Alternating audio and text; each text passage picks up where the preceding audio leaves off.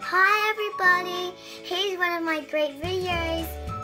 Now, what we're going to talk about today is about what we like about school. What do you like about school?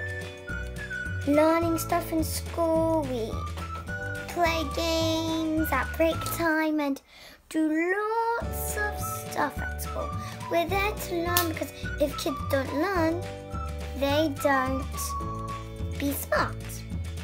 And you need to be smart. So when your kids come, they can be smart. Because if you're smart, your kids can be smart. My mom told me that. Now keep that as a fact. And what I like about school is when the te- is when we do handwriting because I'm really